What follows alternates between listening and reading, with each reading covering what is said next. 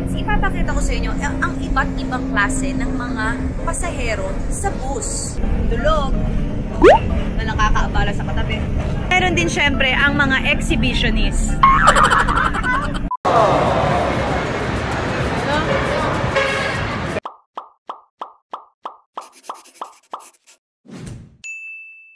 Hello, netizens! Last month, tayo ay nag-commute going to our church, going to kung saan saan. Ngayon, ang gagawin natin ay, dahil sinabi ko doon, kung gusto nyo mag-commute tayo papuntang Lipa, magko-commute, ah, iniwan na ako nakasama.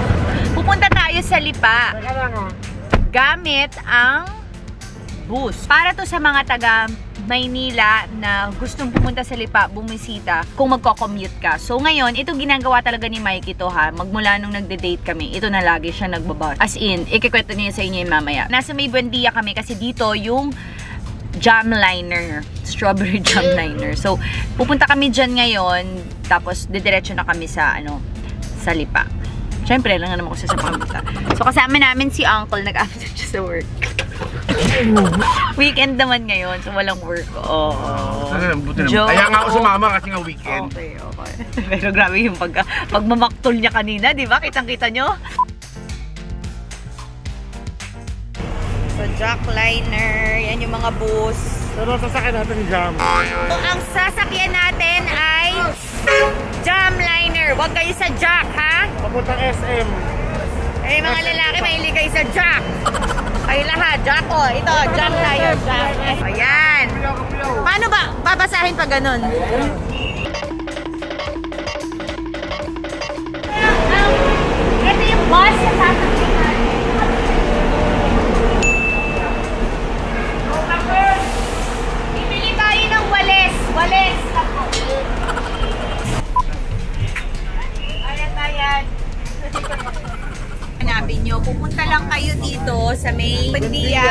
Tapos, Hindi ako. Diretso na SM pa. magkano yung pamasahe dito? Ako na, 125. Sa likod. Gusto ko sa likod tsaka sa paa. Pamasahe. ano yan binibili mo? Binibenta mo? Ah, kasoy. Ano yung, ano yung balde? Ano ba yung kasoy o mani? Ay nako, ang asawa ko ang gusto lang niyang mani, yung akin. Kasoy na lang, kasoy. Bagong hugas daw, bagong hugas. Lactasid na yan. Nakabili tuloy na maraming kasoy. Nabaula mo eh. Oh, Mike, anong ginagawa mo? Eh, pakita mo yun. Nagre-recline pa yung chair mo. Yeah! Business class. May chicharong kayo dyan, tol? Ah, sorry. Naliligaw ko si Catherine. Pag uh, nasa lipa kami ng father ko, babiyahe ako ng bus pa uwi. Biglang magtataon na date. Babas ako pa uwi. Bababa ako doon. Bawal pa. Pwede pa bumaba doon sa may EDSA. Bababa ako doon. Tapos mag- lalakad ka na papunta sa amin para makadiretso na ako sa date. Ngayon, kasama ko na siya. Napaka-practical sumakay sa bus noon. Halagang 100 pa lang noon eh. 110. O kung ano lang, Matulog ka pa. matulog ka pa. Oo na, San. Tama na, nakabas na tayo ngayon. Punuan, punuan. Shot puno, shot puno. Anak ng prutas, oh. Pati prutas binibenta pala dito. Baka pati insurance, nagbebenta kayo dito. Nox. Delivery ako ng asawa ko ng fish cracker. Ito, paborito ko talaga fish cracker. Kasi pareho ko to eh. Pag kinakain, ma- maingay. Bakit? Ang ingay ko kasi. Ayaw niya. Sabi mo kasi maingay pag kinakain. Cracker na ba? Cracker ka ba? Ah, maingay ka, maingay ka. Bakit? O pag kinakain ka, boom! Tara. Katawa. Oh,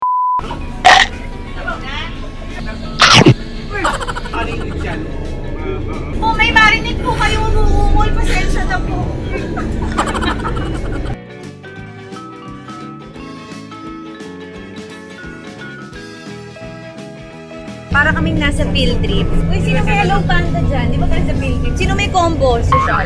Oo! susuka na ako. May isa kang kaklaseng maduduwal. So every hour daw may biyahe. Hanggang anong oras? 190 eh. Hanggang 9pm daw ang ano dito. Darating tayo walang Yan yun, no? Tinan nyo, yan. Last trip. Pagpunpun na lang tayo, excursion! Mag-beach na lang tayo kami. Ay, pagpunpun tayo na yan. Tapos lakarin na lang from pagpunpun to lipa. Dala ba kayo pang swimming, tsaka plastic pambasa? Yung adobo, yung adobo ilabas nyo na. Magkain na na. A few moments later. Dahil hindi po puno ang bus, ililibre na lang po namin kayo lahat dito. Ano yan? Taya ko yan? 3, 4, 8. Libre kayo. Konsi ng bayan, no? 3-5. Keep the change. Ay, kulang pa pala. Salamat, Konsi! Kuya, mag-hops ka naman dun, oh. Dahil ka naman sa lupa ko.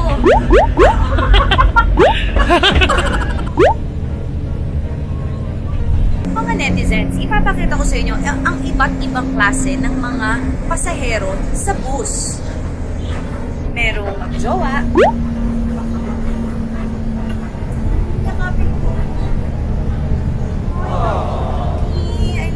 Meron naman ng panay text lang. Panay text. Meron din yung may kausap sa phone. Kausap sa phone. Hello. Yeah, yeah. Meron naman syempre ang mga tulog na nakakaabala sa katabi. Meron naman yung mga suplado. At meron din syempre ang mga exhibitionist. Pakita mo na, Uncle! Wala kasing tao dito.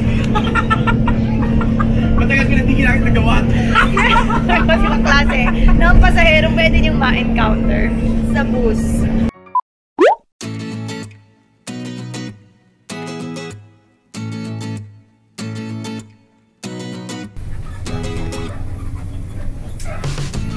So, andito na tayo sa Lipa. Ah, umuulan. Balik na lang tayo uli sa Buendia. Tumating na po ang checker. Kaya dapat natatalo mo talaga yung ticket. Dito na tayo sa Lipa. Masaya na si Mikey. Thank you po. Ingat po kayo. Kakapkapan lang po kayo. May nawawala po kasing cellphone. Kuya, nice driving. Nandito na tayo ngayon sa Lipa sa parking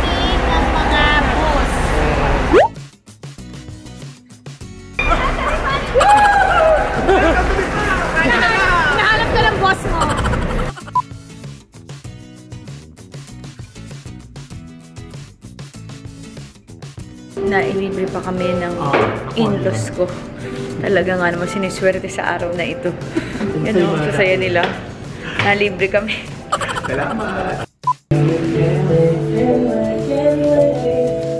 Dahil umuulan, naisipan namin mag-ice cream. Mona, anong gusto mo, Mike?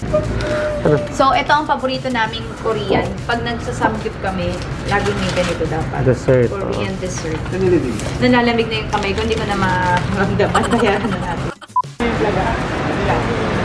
So, andito tayo ngayon sa ano? Lipa Terminal. Mag-aabang kami uli ng pabalik. Pero bago kami mag-abang, kakain muna kami. Abot.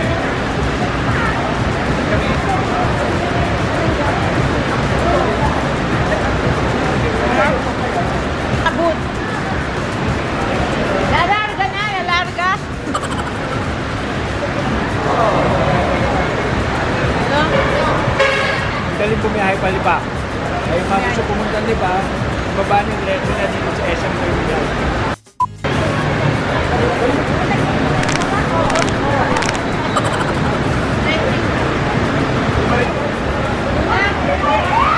Lalarga na, lalarga na. Basta po. Puno na, lalarga na. Puno na. Yung bus? Pwede bus.